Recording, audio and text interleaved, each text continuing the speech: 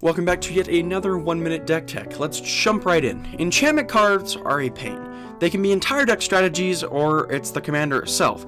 Enchantment Destruction is also really limited to destroying one card, other than Heliod's Intervention. So let's counter all enchantment cards that come into play with a card called Presence of the Master. This literally just says no to all enchantment cards that come into play after it. Yes, this card affects you too, but most decks only run 3 to 8 enchantments anyways. Any heavy enchantment decks completely turn off with this card, and any deck that runs combo enchantments like Revel in Riches, Exquisite Blood, and Mayael's Aria are completely destroyed unless you destroy this card. And this card is only at the time of recording 26 cents, which is really cheap for a card that does this. Thanks for watching, please like and subscribe, and check out my channel for other MTG content.